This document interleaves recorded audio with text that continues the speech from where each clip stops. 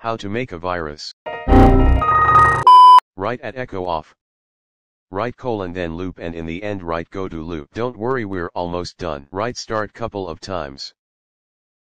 And we're done. Let's save this as a batch file. Let's run this. Fabulous.